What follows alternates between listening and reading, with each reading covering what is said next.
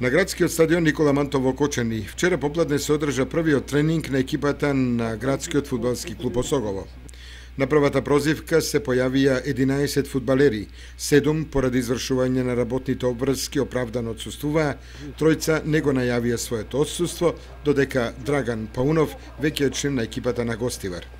Започнавме со подготовките, значи полека се комплетираме, не е целиот играчки кадар на број, но до понеделник треба да се комплетираме.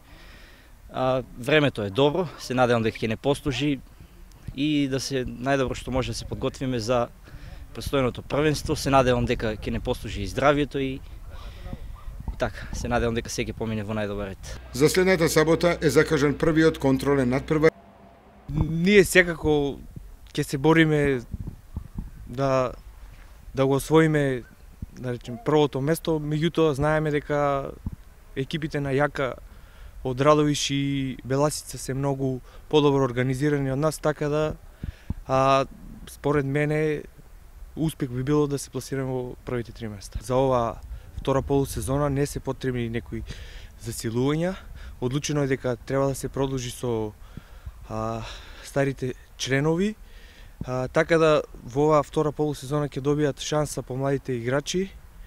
Знаеме докаде ни се силите.